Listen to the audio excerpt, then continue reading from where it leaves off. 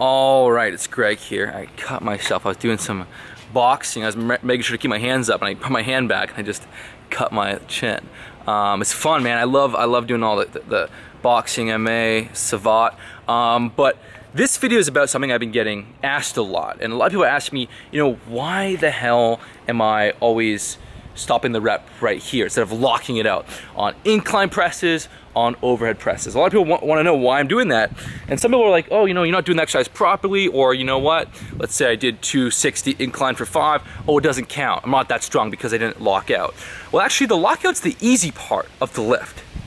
The lockout is the easy part. It's very easy to do this last range of motion. So whenever you're doing these reps, I mean, the lockout's a given. It's like easy. Um, so the reason why I avoid locking out is because I want to keep constant tension on the muscle. So when I'm doing incline press, I'm doing it to build my chest, especially the upper chest. So by just stopping here, I'm keeping that tension on the muscle. I can keep, I can maintain a constant like kind of motion and pump. So I actually hit, trigger, and build my chest much more effectively that way. Contrarily, if I was to bring that all the way up and lock out, what happens?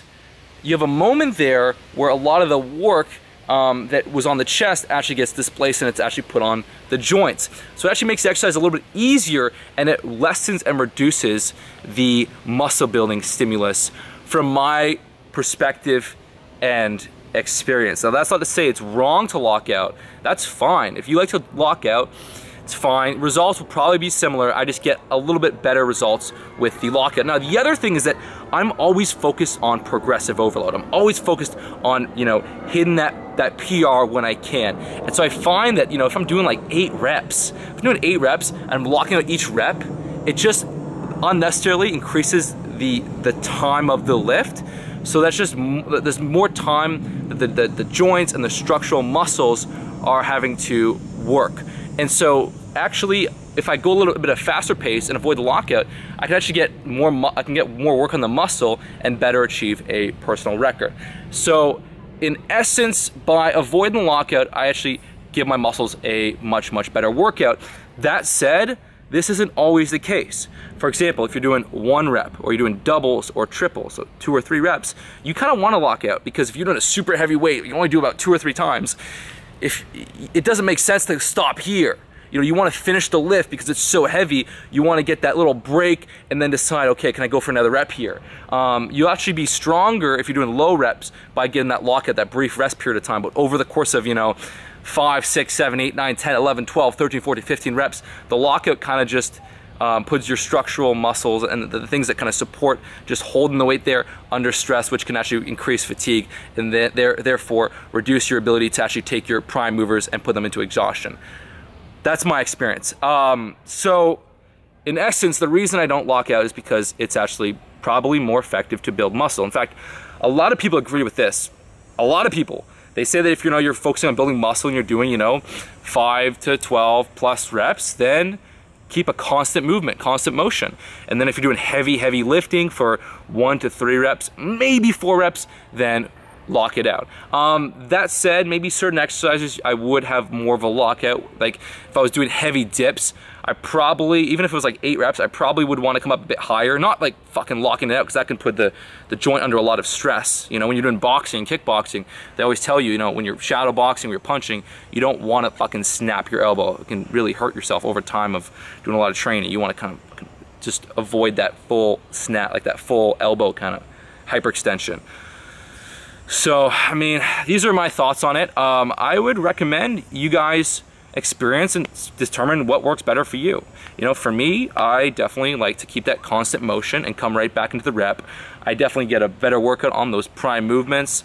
Um, and so on and so forth. And you know, one could argue that, oh, because I'm not locking out every rep, my tricep doesn't get as good of a workout. But at the same time, it's like the lockout is so easy.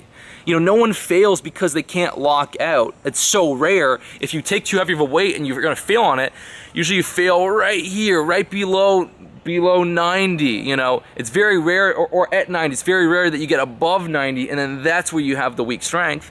Um, that's very rare. So, I mean, if you really want to work your triceps, then what would be better? Would I mean, your triceps are still getting a ton of work, even if you just go to here. Like, fact of the matter, you're getting tons of work. Um, because again, this part is easy. If you really want to work your triceps, do some direct tricep work. And if you really, really want to work them as well, do some heavy, heavy, um, you know, do some some half presses, you know, or like some some chains or some bands to overload the top portion of the lift, so you can actually really get, get so actually actually get your triceps to work. Um, as well, you know, maybe on the last rep of your set, if you're doing the pump and motion, then really lock it out which is obviously you have to do because you have to rack it. Um, but like, you know, you know, on overhead press, I'll always make sure that my last one, I really hold it there, lock it out, get that full lockout. Um, but I mean, and then also, you know, I'm starting to do some, um, some reverse grip bench, which I really like. It's supposed to actually activate the upper chest more so.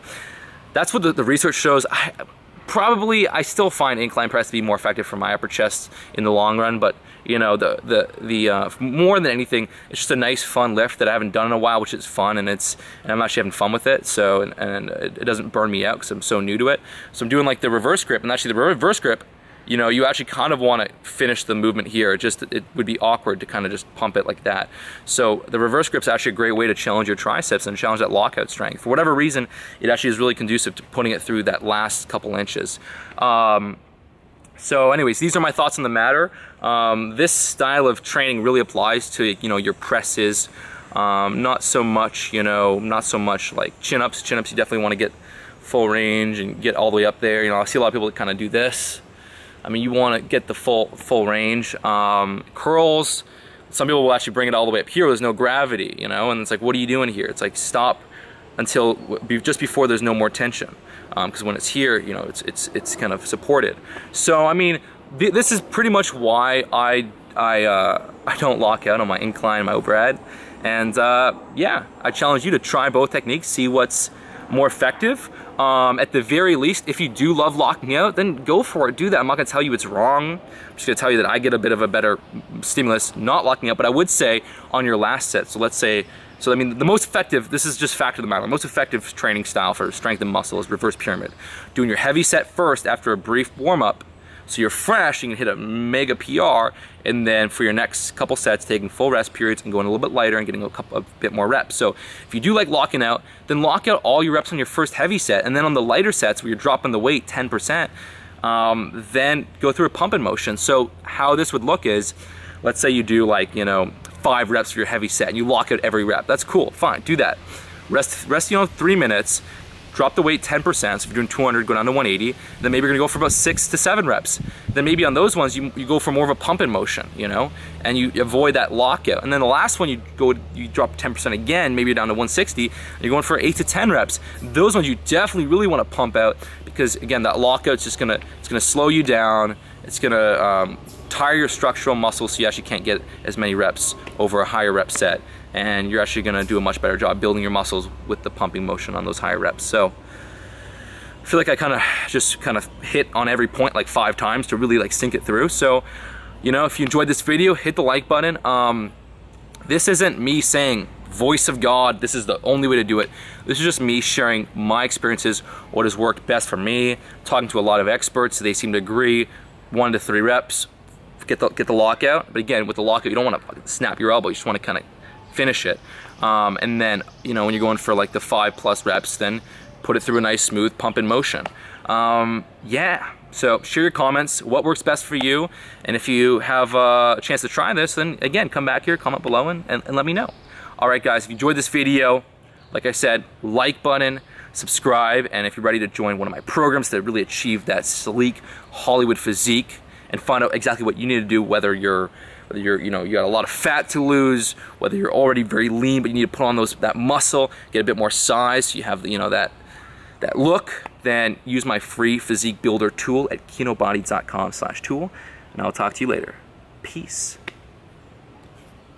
All right, so I said I was doing some kickboxing, so I've been working on it um, for a few weeks now.